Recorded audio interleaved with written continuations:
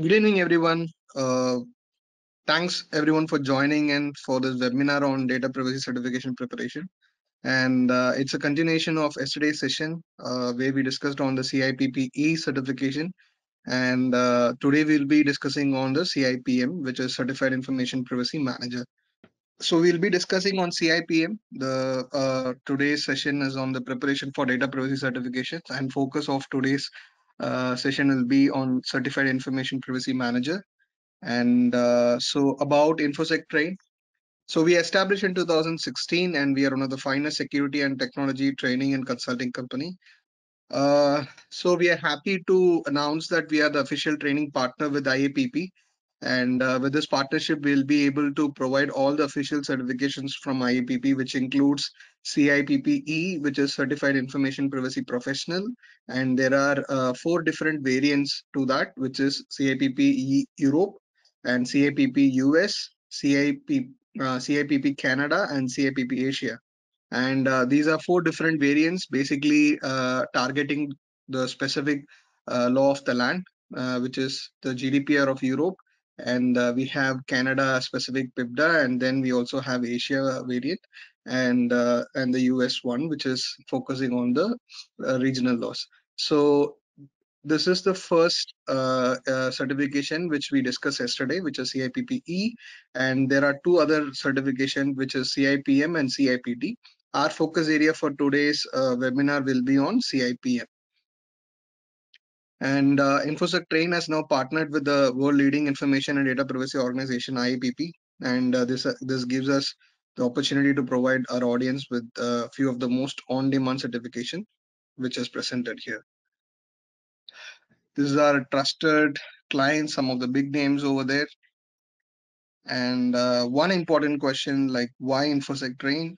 Uh, so we have certified and exp uh, experienced instructors, including me, and flexible modes of training, access to the recorded session at any point of time. You can go back to your own pace and uh, and revise the content post training completion. We always support you with your queries, and we are always there to help you out with exams.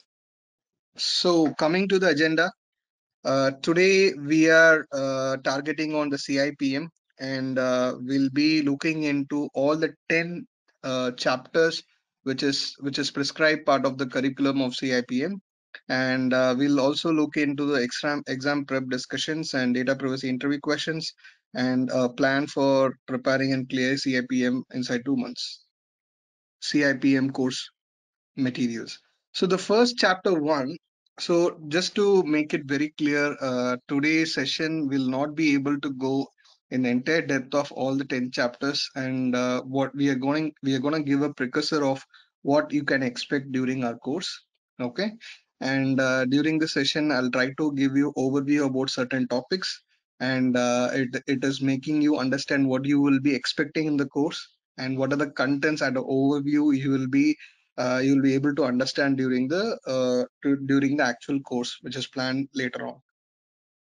So the first chapter is about introduction to privacy program management, and uh, uh, just to uh, just to again recollect, today's session is on CIPM, which is privacy program management, and yesterday was uh, CIPP-E, which is privacy professional targeting the GDPR.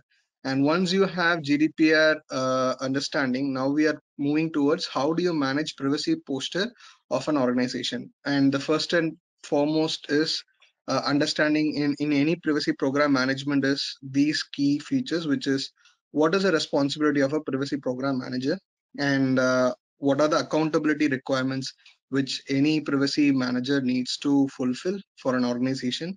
And beyond laws and compliance what is your day-to-day responsibilities? How do you how do you add value through privacy for an organization? And uh, why does the organization needs a privacy program that uh, needs to be very clear and uh, privacy across the organization because uh, privacy is going to cut across multiple products and services where uh, the privacy requirements needs to be embedded and awareness alignment and involvement. So in chapter one we are going to see uh, some of the fundamentals of privacy program management and uh, with that i thought we'll touch upon certain very important topics as a basics okay? So a lot of people still have a question on what is privacy, right? Privacy itself has variants. Okay, privacy can be uh, about the data, about a body, and uh, sometimes it can be uh, specific to uh, specific to what you're dealing with, right? And uh, here we are more focused on data privacy, and the very definition of privacy itself is not defined anywhere, and that is the reason and the the speciality of privacy because you cannot confine what is privacy because the roots of privacy are coming from human rights, international human rights, and uh, it varies depends on the situation depends on the context of where we are referring privacy right? Uh, on a higher level just for everyone to understand what is privacy it's a right to be left alone and not intruding someone's personal and family life so the origins of these statements starts with your uh, united nations uh, convention on human rights where they uh, where they came up with all these uh, specific human rights related to data privacy and uh, that's all consequence of the second world war right? And uh, uh, specific to data privacy it's it's a right of an individual to control and protect his personal data processed by an organization so this is our focus area for the entire course and we'll not be dealing any other uh, aspects of privacy so data privacy is what we are going to focus on the entire uh, CIPP and CIPM perspective. Okay, so uh, now the interesting question is what is data privacy and data protection? Sometimes uh, a lot of people uh, mistake the synonymous uh, between privacy and information security or privacy and protection but uh, there is definitely a lot of dif uh, differences and deviation. Although there is there they are a lot uh, they are interrelated in a lot of ways but they are two different concepts. Uh, so data privacy and protection uh, is often confused terminologies. And as i said privacy uh, roots back from the rights human rights specifically. And and as i said it originates from the laws and it originates from the core concepts of human rights uh, so we were at data protection and data privacy terminologies. As I said, data protection is a key enabler for data privacy. And in data protection, we are more concerned in terms of how we how we will protect the data and ensure the confidentiality, integrity, and availability of the data. But in data privacy, we'll go one step beyond it. Uh, we will be looking at why are we collecting this data? And uh, what are we going to do with this data? What are the rights and control that we are going to give to the data subject from whom we collected the data? So this is how you actually explain data privacy concept to anyone. So it is your data and how you have control over your data and how do you ensure that uh, you your control is being maintained by the uh, uh, has been ensured by the organization. The organization respects uh, your uh, your your value of the data right and that is that is a, a core concept of data privacy itself. And uh, coming to privacy program management so privacy program management is is a whole uh, framework or uh, uh, uh a method in terms of combining a structured approach of combining projects into a framework and life cycle life cycle to protect the personal data and the rights of the individuals. So uh, we have a lot of concepts embedded with data privacy and protection. But uh, if you ask privacy program management, it's nothing but a structured approach of how do you uh, embed privacy at uh, at the data lifecycle, right from the onset of collection uh, in terms of processing the data, in terms of archiving it, and in terms of deleting it, or in terms of uh, in terms of disposing it completely.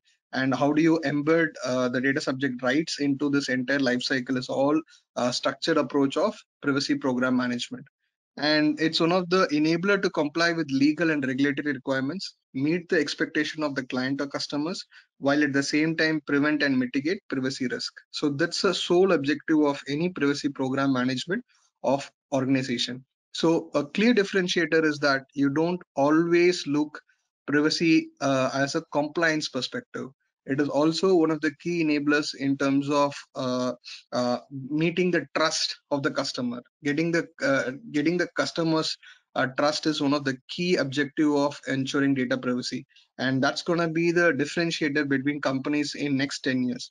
Whoever is not respecting data privacy in their core concepts are definitely gonna get a lot of problems, uh, losing customers' trust and also getting the uh, uh, legal and regulatory penalties. Moving on, what is a framework? Framework is a skeletal structure that is needed to support the uh, program management. People who are familiar with the framework like uh, COBIT and uh, and other frameworks which are there available in the market essentially uh, uh, we'll use the same concept here and we will create a, a, data privacy framework and each organization privacy program framework will be created by analyzing its applicable laws the regulation and best practices that are tailored for the goals of each organization so creating a framework is completely depends on the law of the land in terms of the company's objective company's uh, uh, company's practices and that is how you create an effective data privacy framework and privacy lifecycle, it is a series of stages of personal data passes through in any organization. The privacy governance lifecycle includes assess, protect, sustain, and respond. Basically, you're gonna uh, you're gonna determine what is uh, determine the personal data aspects in assess, and you're gonna implement the controls to protect it, and you're ensuring uh, the controls are protected and the rights are respected and sustained and then finally respond is your uh, if you if you come across any threat how do you respond? So this is uh, this is how the CIPM course is also uh, uh, is being sectioned and uh, the course is uh, actually divided into these four parts which is assess protect sustain and respond. Okay? So these are general introduction. I just wanted to uh, brief you about these aspects and you by uh, people who would have attended today's session uh, will now understand uh, sorry yesterday's session uh, would now understand how the uh, the course is completely different from what we studied yesterday uh, because yesterday's session was completely into gdpr uh, focus which is into laws and regulation. Now we are moving into how do you protect personal data in any organization. Without understanding CIPPE, directly come to uh, coming to CIPM is going to be challenging. Because that's where we study what is a personal data, sensitive personal data, who is a controller, who is a processor, who is a joint controller. So that's the uh, that's a key differentiator I've been telling to a lot of people. A lot of people had this question, CIPPE versus CIPM, and I always give the same advice: have your foundation very strong, and that is done through uh, targeting CIPPE. When you have GDPR uh, uh, a strong basis, then you can build on top of it with CIPT and CIPM. So that's a natural progression that, uh, uh, that I always suggest to all the candidates who want to take up a career in data privacy. So moving on, uh, so done with the sort of uh, fundamentals or basics of privacy program management. Uh, in general, I uh, uh, I wanted to introduce you uh, for the responsibility of privacy program manager. Again, this is an interesting question. A lot of people came up with this question yesterday, like, what will be my day-to-day -day responsibility? What will be my work in any organization if I take up this particular career? So this is even part of the curriculum as well, right? So your your job role will always start uh, from as a state for example if you are starting this program from scratch okay? Uh, then you need to understand the business landscape right? And uh, understanding business landscape varies from sector to sector operations to operations right? So every particular uh, sector has its own nuance of uh, operations right? So in that case understanding the business landscape becomes very very important because uh, general application of uh, a control will never be effective unless we understand the gravity of the operations that is there. Uh, different types of data are collected. The data is processed in a different way to multiple sector. For example uh, a school collects personal data of students versus uh, a hospital collecting the sensitive personal data of uh, of uh, the patients have a different set of controls to be implemented. The range of the range of sensitiveness is very high in a hospital. So the amount of controls which needs to be there has to be very high that is where you need to understand the sensitiveness of the operation. That is the first step of any privacy program management to understand as a state and understand the business uh, uh, uh understand the business landscape. And there are different types of data that is dealt by any organization or entity. It could be your customers data it could be the employees data and it could be your vendors data as well. A lot of people don't uh, sometimes uh, uh, understand vendors data could also be a personal data right? Uh, if your organization having vendors then possibly their personal data is also collected. Some of the vendor management services or vendor management transactions you do their personal data is also brought into your system. So you should be aware of all these nuances to have an effective privacy program management and the second important step is to identify your legal, regulatory, and contractual requirement. This is a, a, a fulcrum and basis for any uh, uh, program management, let it be information security or data privacy. You need to have a thorough understanding of your uh, law of the land, your regulatory requirement. If you're, uh, for example, if you're uh, operating in a banking, uh, in India, you will have uh, your SEBI and uh, you will have RBI requirements. All these things comes part of a regulatory and contractual requirements. Again, you will have contracts with different vendors from different uh, service providers. All these contracts needs to be also respected and documented. So these requirements will also become very effective and uh, the requirements needs to be monitored periodically and implemented and uh, that is where you will also understand one of the key responsibility whether the organization you're working is a controller or a processor or a joint controller. So there are three different variants where you will take the roles.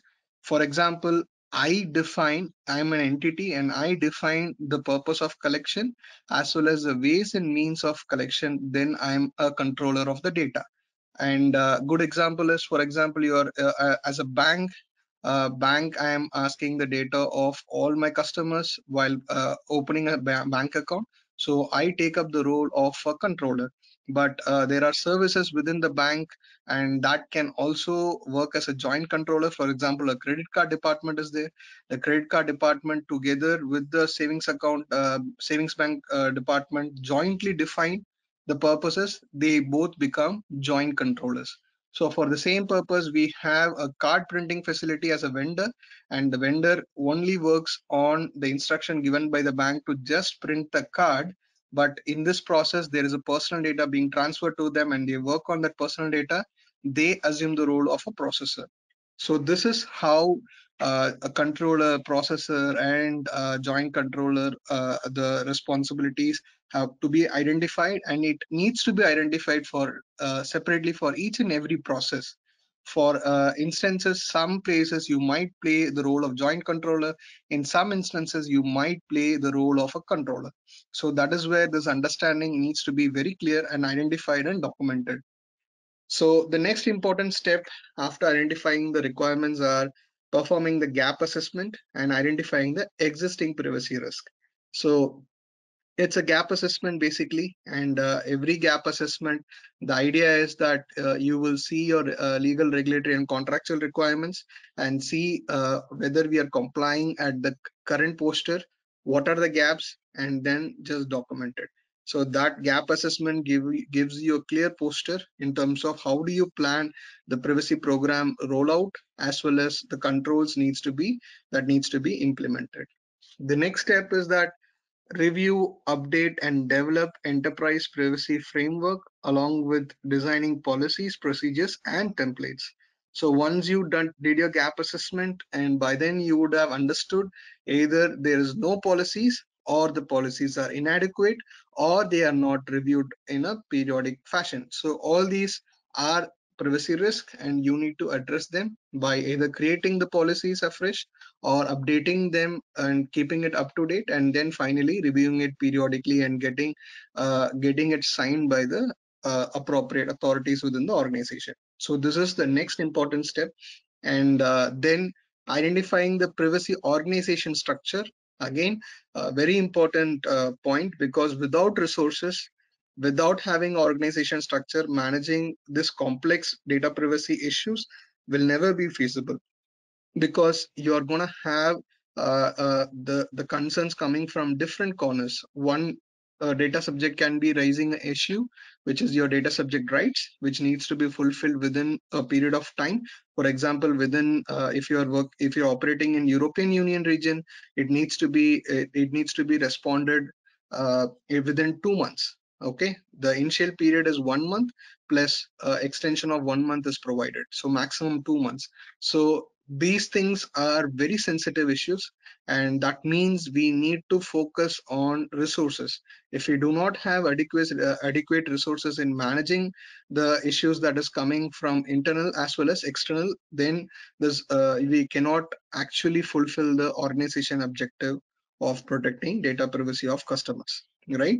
So identifying the different roles the roles can start from analyst then you can have your privacy consultants you can have the legal department supporting the privacy depart uh, privacy uh, team in terms of the contractual requirements uh, data privacy contracts and also understanding the legal requirements as well.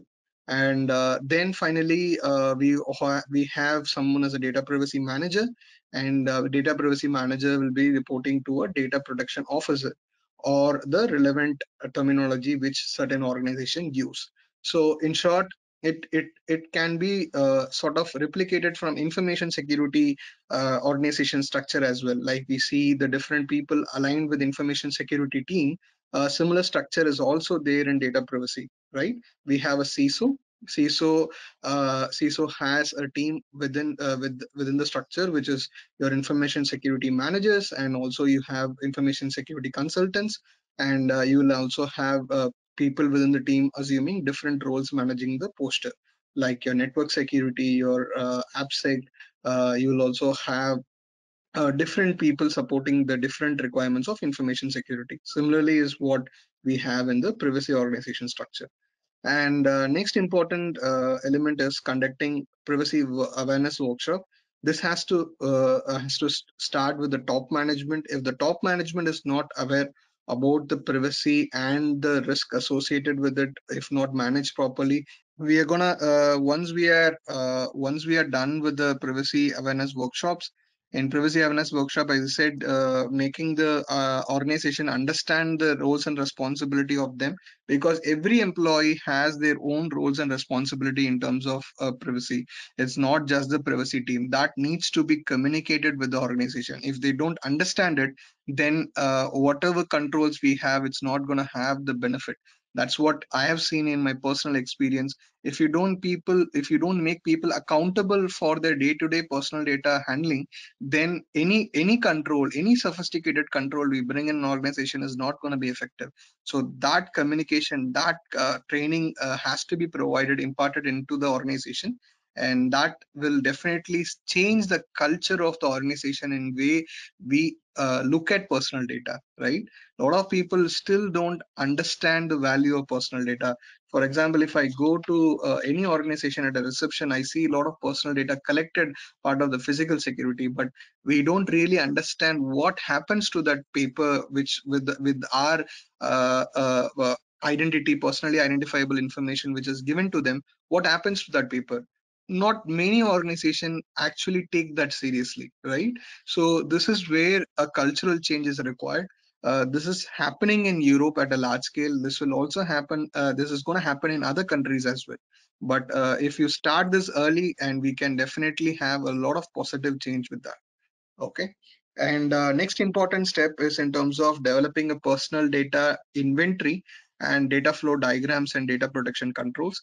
Uh, once this is done, your half of the data privacy task is completed because understanding what data you have in an organization is one of the most important and difficult task as well because the personal data is coming into an organization through multiple channels right? One example is i gave is a physical security and you can have data coming from your uh, web. It can come from chat. It can come from emails it can uh, it can come from so many sources for any organization. It depends on the organization business model right?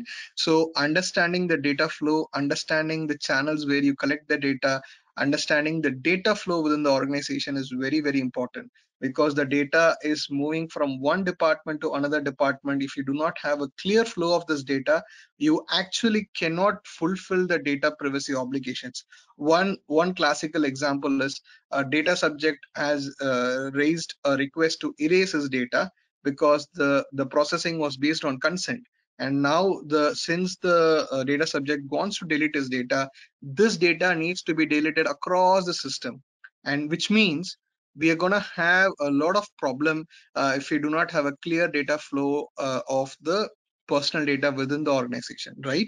We just cannot go to each and every system at that point of time to trace the data that is how that is why having a clear inventory and data flow mapping very very important. These uh, particular topics are going to have a lot of value in next 5 to 10 years because there is a lot of solutions which are coming up in the market focus, focusing on this particular aspect right? If we have a clear inventory half of your headache is taken care. That is what i see in every organization right?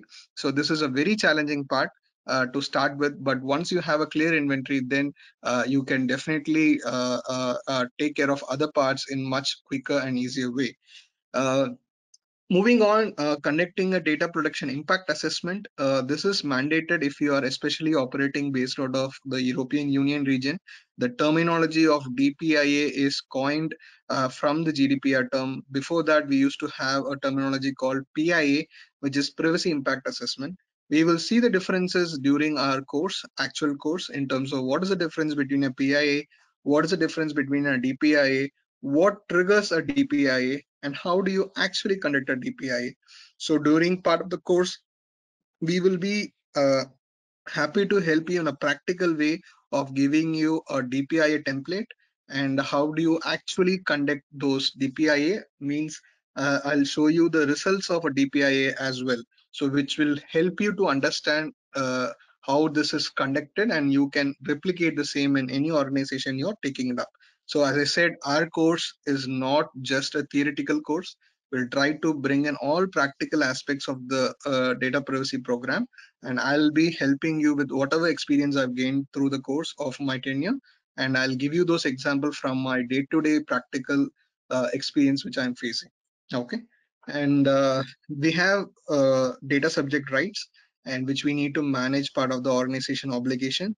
For that we can we need to have a system in place. We need to have people resources managing it. We need to have slas defined. And we need to have ways and means defined in terms of how do we communicate back to the customers and how do we handle that complaints in effective way. So all these things are to be uh, fulfilled by the privacy program manager and uh, then the last two important parts which is your data breach management and reporting and uh, which means this is the most critical part. Uh, any big organization will always have an incident management but that doesn't always fulfill the requirements of your data breach management especially focusing on personal data. Because the obligation uh, especially if you're operating in european union you have a mandate of 72 hours within 72 hours once you're aware of the breach you need to inform the regulators. And if the breach is going to have a high risk on the data subject you need to inform the data subject as well. This is a legal requirement. So uh, incident management is little different to the data data breach management concerning personal data which you need to properly uh, structure it for any effective data privacy program management and the final step is implementing continuous compliance program and monitoring with metrics. Now this looks lot of task isn't it? So that is why i said the uh, uh, importance of this particular uh, uh aspect in an organization is going to grow uh, exponentially from here. One person may not be able to fulfill uh, even three to four tasks which is mentioned here. That is why we need a dedicated privacy structure and a team so someone will be just focusing on conducting the assessments. Someone is focused on uh, maintaining the inventory and someone will be focusing on the breach management. Someone will be developing the policies procedures and uh, looking after the changes and running the uh, uh running the periodic uh, uh, audits. So there is multiple scopes within this entire journey right? As a privacy program management manager or a data protection officer your role is not to have your hands dirty at each and every task of this but to have an entire accountability for this all these tasks. You need to ensure the work to be done and to be done in an effective way but uh, you will not be able to do each and every task uh, which is mentioned here in any organization. That's that's if it's a very small organization maybe it's possible but in a large organization it's definitely not possible. That's why you need to have a clear understanding what a data protection officer can do. And that is why we need uh, to always associate data protection officer versus accountability. A data protection officer is not going to go reply to a data subject rights but rather he will ensure in a met he is, going to uh, uh, review the metrics of how uh, uh, subject data subject rights are responded in a month and review if the if they are meeting the SLA and uh, provide the guidance to the team. That is what is the role of a data, data protection manager as well as data protection officer. Okay, so these uh, uh, nuances are very very important for anyone who's starting this data privacy program manager journey. A lot of questions that was coming yesterday to understand what will be my day-to-day -day work. I hope that is the purpose i kept this slide and uh, the reason i explained it in this depth is because uh, I, I wanted you guys to understand and get the flavor of what we do part of our day-to-day -day job and as i said clearly it's not one man's job it's entire team which will be focusing on different areas of your uh, data privacy program management okay uh, so I hope you got the flavor of uh, responsibility of privacy program manager as well as uh, uh, data protection officer. Moving on with chapter two. Chapter two is again focusing on the privacy governance. Uh, now the remaining chapter is nothing but dissecting whatever we saw in the roadmap, right? The the the chapter two is going to focus on the policies procedures, having a dedicated privacy team, okay, and uh, part of this chapter we will see how to uh, uh, why it's important to have a dedicated vision and mission and having the objective these things will be derived from the overall organization objective right? The overall organization objective will drill down into your uh, into your dedicated privacy vision and mission statement right? And having a privacy strategy uh, for the organization customized to the business models and having a, a, data privacy framework is very very important in terms of addressing uh, addressing the privacy concerns in a holistic way and uh, we also have to def uh, define the privacy team and the model which we are going to use for example uh, as I said, uh, if you see on the right hand side, we have different models of privacy governance. One could be a centralized model, or second could be or uh, local or decentralized model. There is one more uh, model which is hybrid. Uh, in centralized model, you have one uh, person dictating the entire uh, uh, roles and responsibility, even everything that comes from a single point, and it is being uh, cascaded into the team, and uh, that is how it is like one person deciding at a whole, and it is all being followed by remaining team. That is called centralized model. this is this is effective sometimes at at, at a larger organization uh, where they feel that uh, having different branches different entity sub entities taking decisions will create a lot of confusions. So what they do is they have a dedicated function at, at a central level and they decide whatever is the requirements and they just pass the instruction. It is just being followed by remaining all the subgroups. And if we have a local or decentralized this is a very flat model and uh, and which means a smaller organization is best to adapt these things because uh, it's a flat hierarchy. Everyone works together and uh, and uh, they interact with each other and it's more like a, a bottom to top approach and uh, this helps uh, in terms of more into a like agile model where you uh, try to discuss collaborate and make the changes. And uh, everyone will have certain uh, uh, certain powers or certain decision making authority. So they they fine tune uh, uh, the effectiveness of the privacy program. So there is a sort of discretion which is uh, which is which is there with the responsibility of the people in the team so this is these are the different models uh, which you need to understand and you need to choose the one which is appropriate for your organization. As I said in data governance, you need to have a vision mission statement which will be drilled down from your organization objectives or organization vision and mission. You'll have a dedicated data privacy policy, uh, roles and responsibility defined, and the subsequent process. So this is a sample data privacy framework Uh, this again touches most of the areas which we saw in the roadmap. Uh, uh, I'm not going to go into each and every part of it, but uh, if you see these, this is how you come up with the data privacy framework. You create your target operating model, your uh, your program governance, and uh, you also define the different aspects of it. And this is how you ensure there is a holistic uh, view of the data privacy uh, requirements as well as the risk of the organization managed effectively. Okay.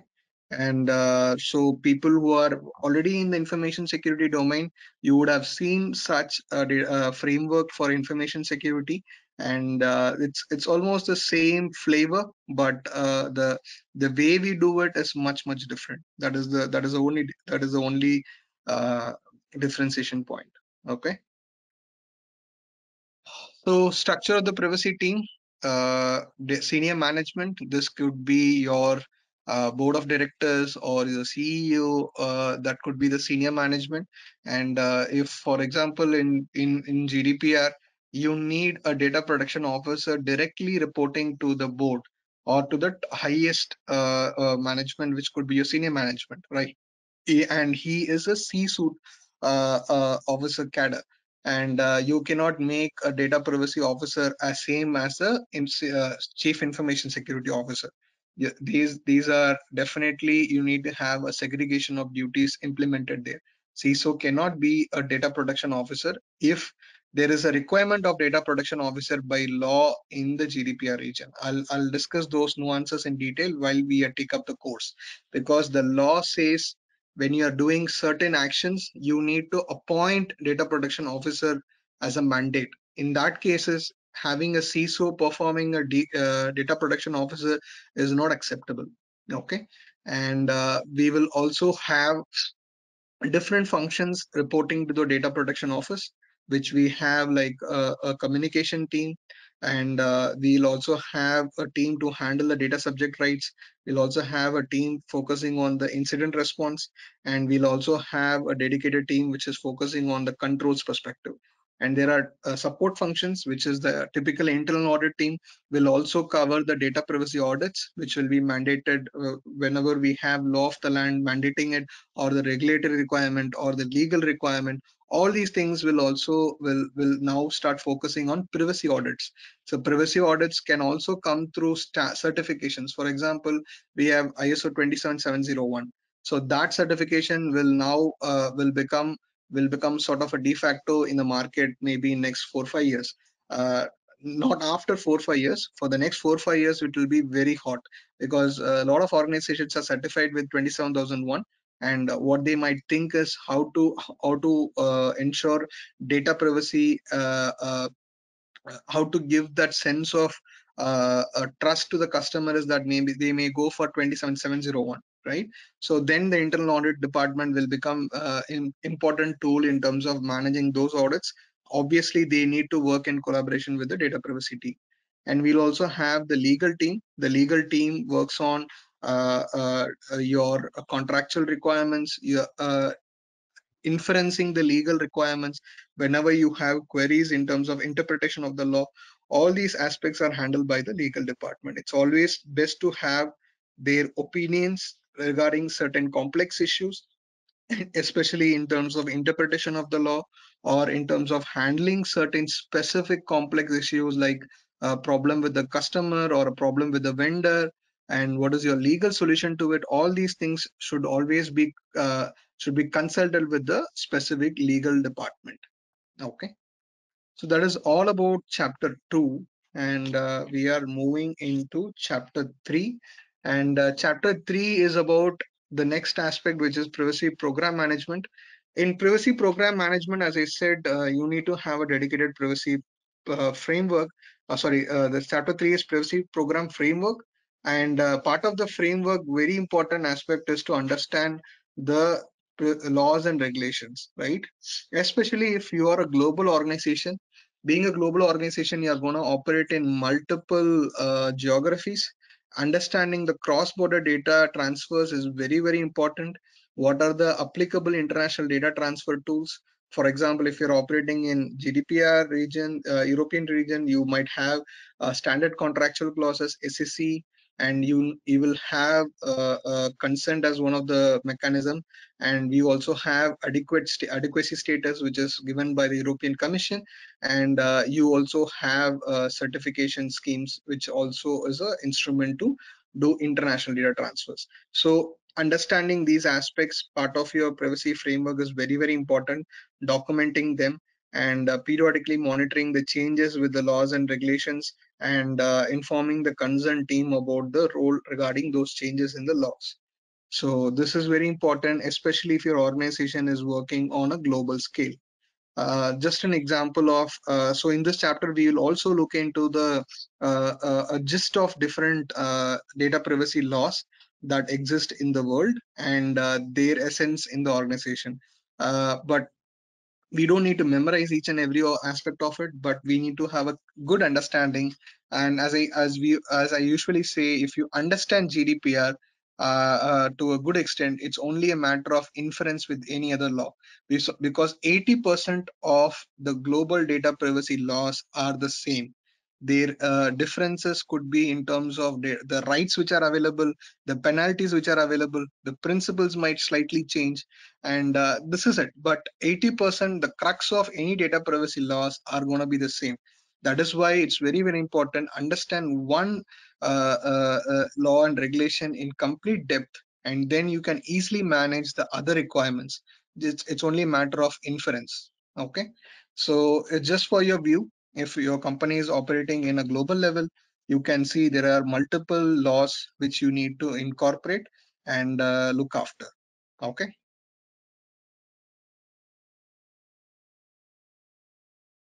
As i said if you are doing uh, international data transfer and uh, there are uh, this this slide is focusing on the uh, U European Union GDPR and as I said, there's adequacy decision, which is focused on uh, special status given by the European Commission. And with that status, you can uh, go ahead with the international data transfer and also having appropriate safeguards, which includes your standard contractual clauses, approved code of conduct, and privacy shield. Right now, privacy shield has been invalidated and there is a special agreement between the US and the European re region. They are coming up with a new framework. So part of our curriculum, we also discuss on these elements. What are the recent changes which are happening? How do you handle? For example, your company is based out of US and uh, you are working for uh, uh, data privacy requirements, right? You definitely need to know the current changes which is happening within this particular sphere between Europe and US. Uh, what are the current changes happening in terms of their uh, uh, instruments to do a data transfer? Okay and next uh, instrument is binding corporate rules. This is a, another important element if you're a global organization and you want to do intra-group transfer. Important word here is intra-group. It is only within the group you're going to transfer the data, but the group is present across the geographies. For example, uh, uh, Indian-based company uh, as uh, as multiple branches across the world, but every branch will also be considered as a sub-entity and uh, they will they are registered in different countries, which means they need to be bounded by that law of the land. So in this case, what happens is if you have a binding corporate rules, uh, which means it allows the intra-group uh, data transfer, but all these things are referencing to GDPR framework. Okay, I'm just giving one example because if you understand one concept clearly you can then just infer to that particular law of the land okay? And exemption uh, exceptions are clearly the uh, you need to get the consent or maybe uh, contractual obligation to the individual or the vital interest. So these are some of the legal basis to do international data transfer and the focusing on gdpr so those those are the elements of your privacy framework, especially focusing on the cross-border data transfer. So the next chapter is going to be focusing on data assessments. So data assessments uh, again is going to be uh, two parts. One is your uh, which is mandated by GDPR, which is your DPIA. And if you're operating in different geographies, it could be a requirement of PIA, which is privacy impact assessment and there could be other assessments which is also required part of uh, data privacy management which is your vendor assessments okay So a part of these elements, you need to have inventories and records. You need to have uh, ROPA, which is especially uh, a specific requirement, Article 30 of GDPR, which we call records of processing activity, which is called the ROPA, which is nothing but a data flow mapping within an organization. Okay. And uh, so these are assessments part of chapter four. And uh, this is just an overview of DPIA, which is Data Protection Impact Assessment, which is specifically called out in GDPR. And where we need to do this assessment is whenever any processing activity is gonna possess a high risk. In that case, you definitely need to do a DPIA assessment. And uh, GDPR clearly calls out what are the things that needs to be called uh, captured part of DPIA we have different uh, uh, regulators who are like the ICO, Information Commission Office from the UK, and uh, we have AEPD from Spain. Uh, we have different regulators in the GDP in the European region, especially coming with specific templates. How do you conduct a DPIA, or they help you to incorporate the essential elements of DPIA okay? So we will be uh, looking into these elements in detail whenever we are conducting our sessions. And uh, so just to make it very clear dpi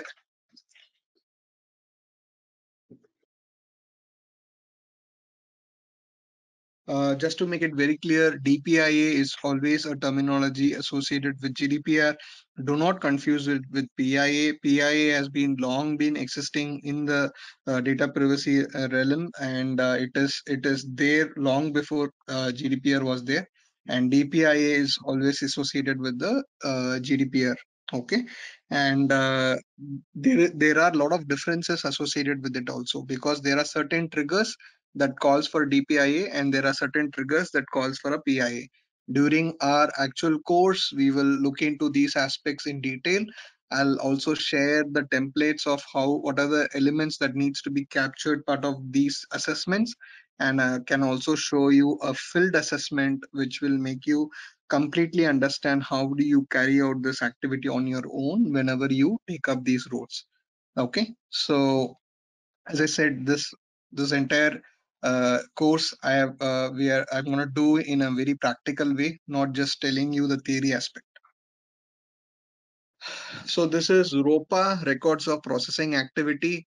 Uh, records of processing activity is basically you're going to record every data lifecycle event of personal data, right from capturing the uh, collection of data, how do you capture it, and uh, what was your lawful basis to capture it, and uh, what was the purpose for collecting the data, right? And what are the categories of personal data you are collecting it?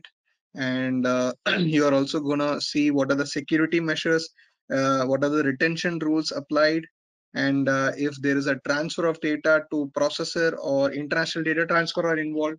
In this case, so in this case, we are gonna look into the recipients who are gonna receive the data. All these aspects are uh, uh, important part of the records of processing activity. So I can also show you a ROPA template part of this course. You can you can understand and appreciate it. So this will be one of the very important activity we'll be doing part of the data privacy manager role.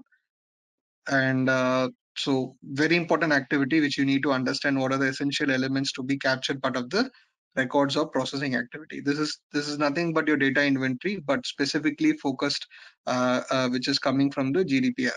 Okay. A part of the same activity, which is DFD, which is data flow diagrams. So this is just an inventory of your uh, personal data. Now you show a personal uh, data flow of the uh, personal data, right? So this is again just for illustration okay if you see there is a data subject information which is collected through website. There is a collected through retail point of sale phone orders or mail orders. And uh, so again this if you are aware of uh, swim, uh, swim lanes uh, how to how to actually construct a data flow this is very similar to that.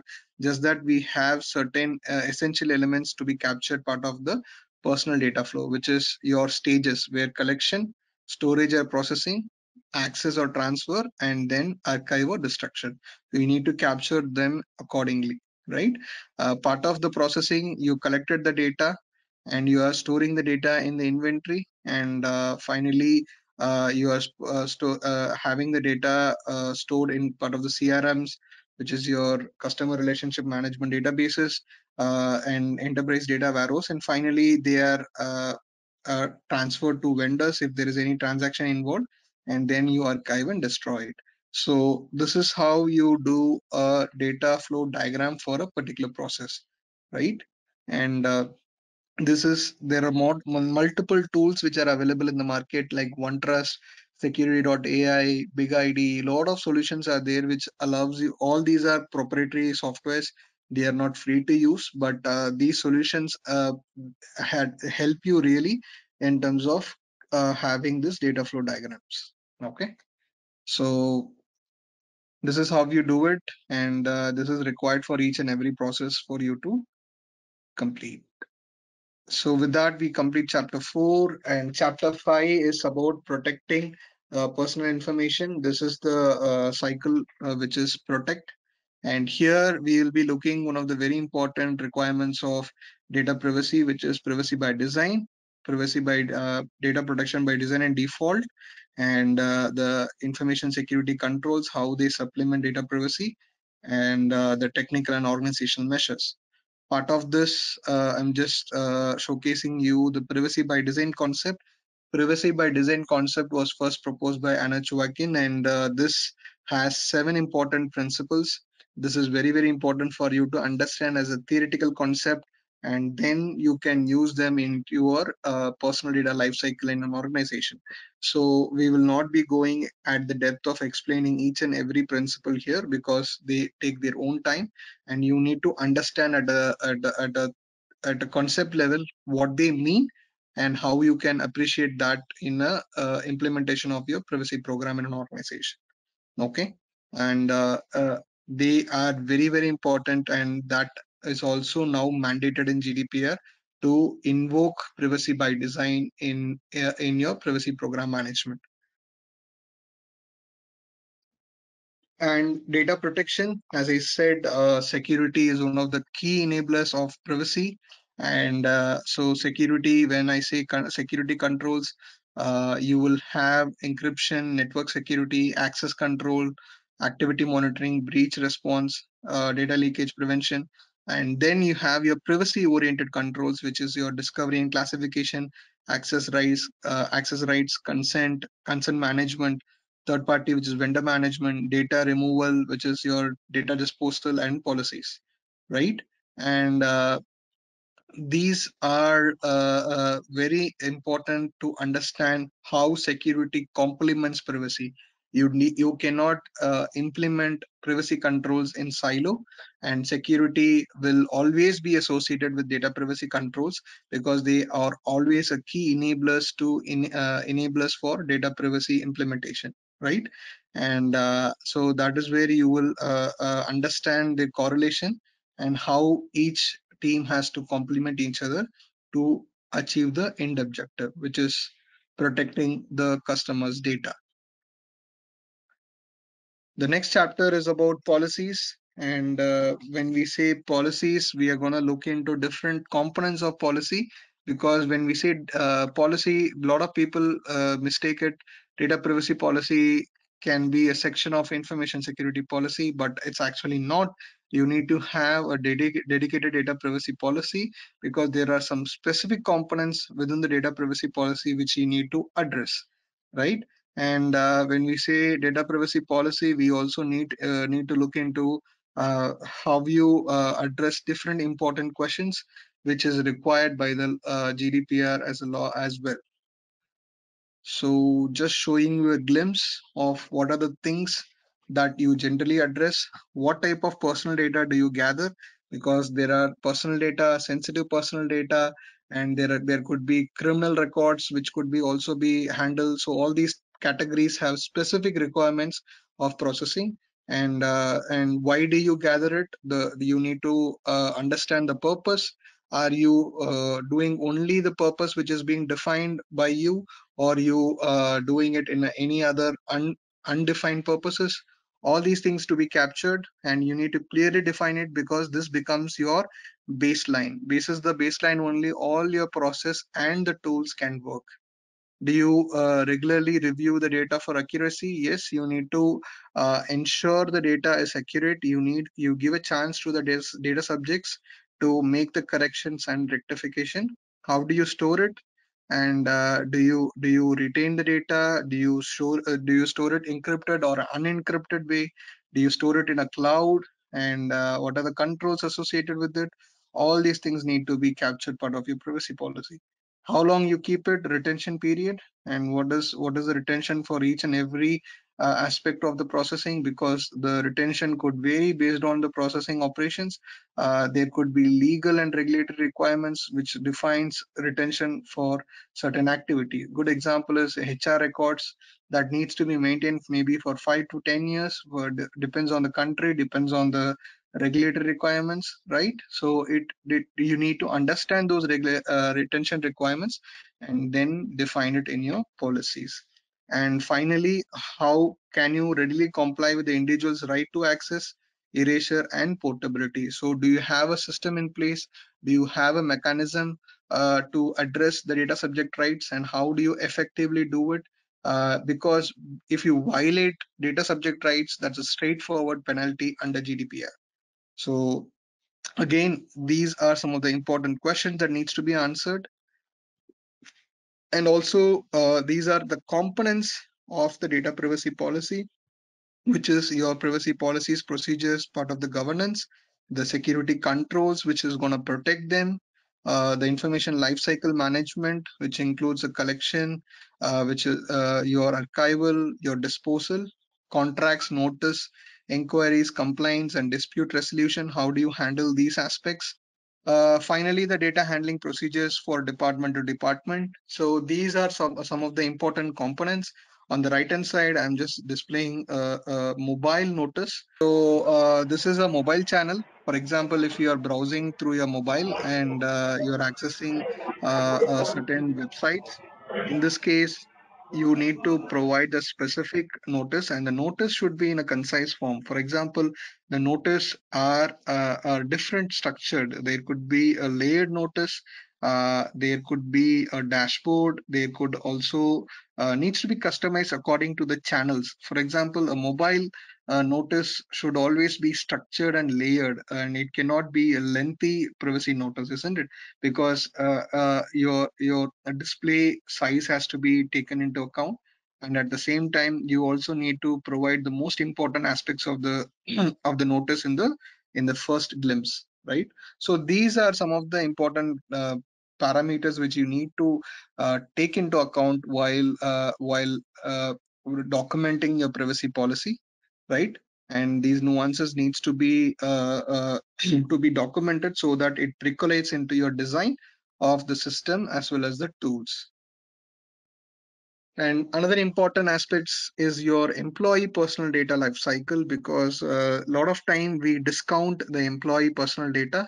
Uh, we always focus on the customer but employees personal data is also an important aspect because employees uh, are sometimes are not there forever and sometimes an employee leaves an organization they might uh, come back asking the organization to delete the data right? So in that case having the data uh, clear repository of the data and the flow of the data is very very important. Because a lot of times this used to be a lot of uh, incidents where disgruntled employees uh, try, uh, try to raise this particular uh, uh, option with them to erase all the data right? So especially when you're handling employee personal data you need to have a clear inventory and uh, we so whenever there is any concerned data subject rights we can we can handle it in the right way and this is an example. For example, someone is applying for a job, your CV, cover letters, and evaluation test results. All these things contain personal data during recruiting. Uh, your marital status, contact info, family status, bank details, all these are personal information collected during recruiting. Workplace, access schedules, assignments, medical exams, and your uh, absence record and uh, payroll payroll again has your contributions expenses benefits and all these things are personal data personal assessment your training aptitude skills development departure certificates official letters documents and end of contract so a lot of personal data is actually spread across different uh, uh, events that happens in an employee life journey. So having that uh, in a, clearly captured so whenever there is a data subject rights we have to fulfill them as well. So just giving you a glimpse of a practical aspect what we do part of the uh, personal data lifecycle of an employee. The next chapter is monitoring uh, and auditing program performance part of this chapter, we look into the data privacy uh, audits and monitoring. As I, as I said, data privacy audits are going to be the next uh, important thing that's going to come up in the market. We see a lot of regulatory audits towards information security, especially the certification audits or the legal and uh, or the legal and regulatory requirement uh, if you're if you're operating in middle east you would see the country specific cybersecurity standard or information security standards. And uh, if not you see in india iso 27001 it's one of the de facto. Or if you're handling payment card you have pci dss if you're handling uh, hipaa if you're a part of a health organization uh, operating out of us you have HIPAA regulation, uh, bank specific uh, regulations are there. So audits are gonna be there to the eternity right? So they they will always exist. And uh, there will be one more addition in terms of data privacy audits which going to be coming soon from different regulations.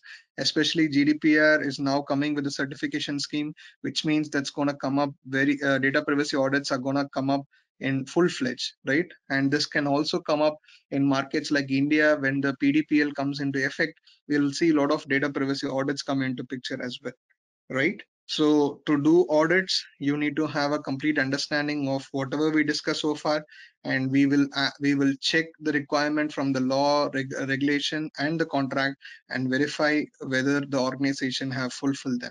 Right. So control maturity assessment, data lifecycle management, data processor review, all these are some of the important aspects of the audits and monitoring that organization need to comply. Uh, chapter 8 is a training and awareness. This is a good slide which I found in internet, uh, which is explaining the concepts in a very uh, nice and simple way.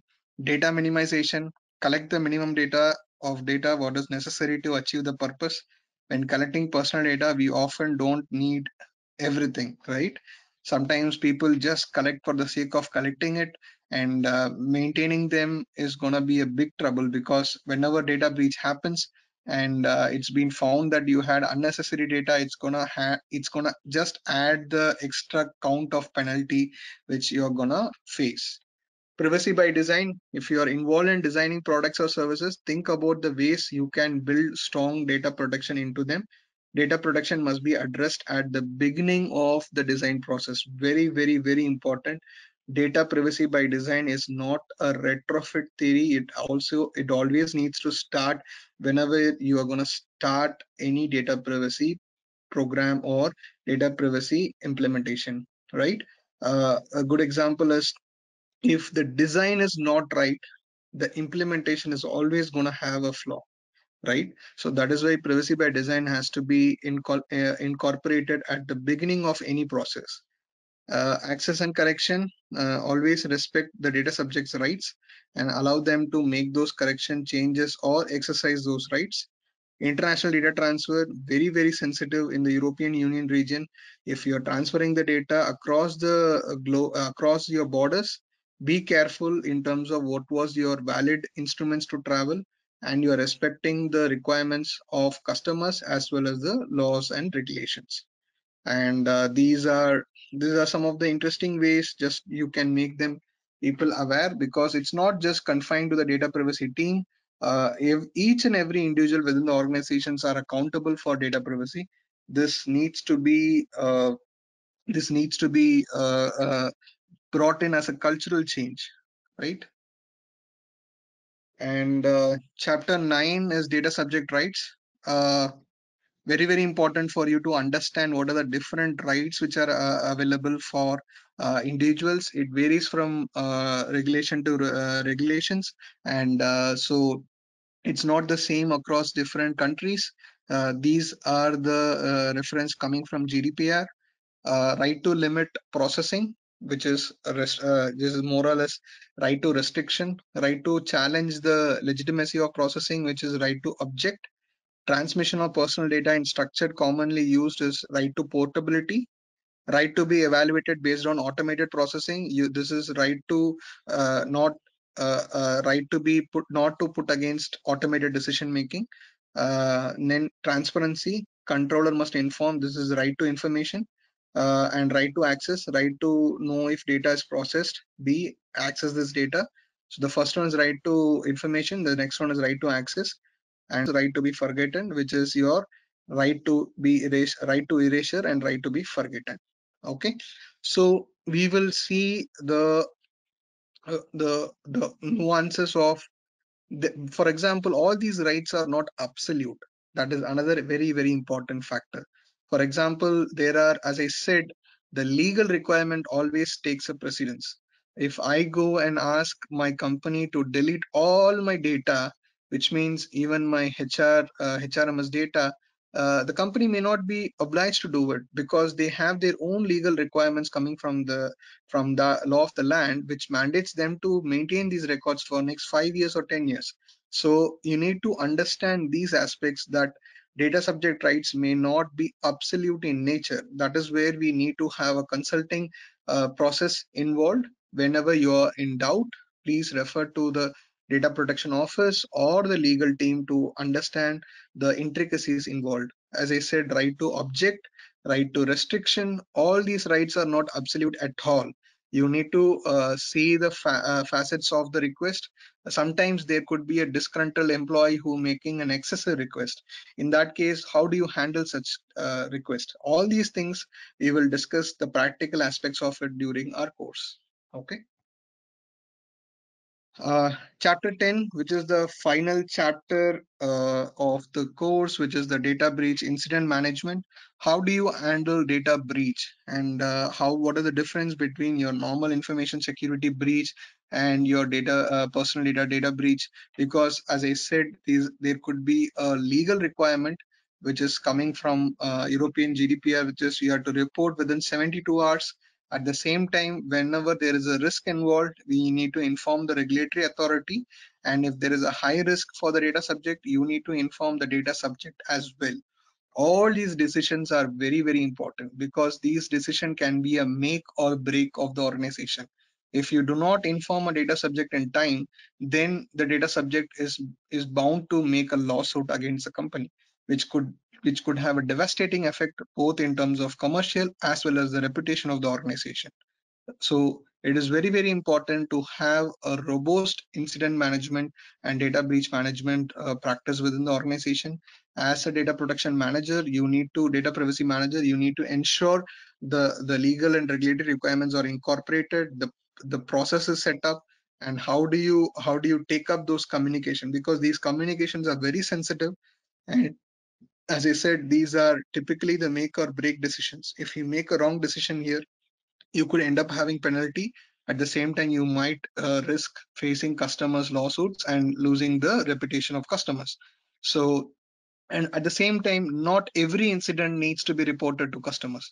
Not every incident needs to be reported to the data protection authority. So these decisions have those uh, again intricacy. For example i, I will I'll always give this classical example. A lot of people uh, uh, uh find it amusing because my data is leaked uh, uh, for example i lose my pen drive and my pen drive had encryption okay? And the data is completely encrypted. But how do you handle the situation? This doesn't need to be reported to a data subject because the data is completely encrypted I don't need to inform the data subject. I already have the controls which is required uh, to protect them. And, and I clearly say there is no high risk involved uh, here in terms of the data affecting my data subject. So these uh, uh, these nuances we will discuss during the session in terms of how do you handle such incidents and how do you actually draft a incident response plan.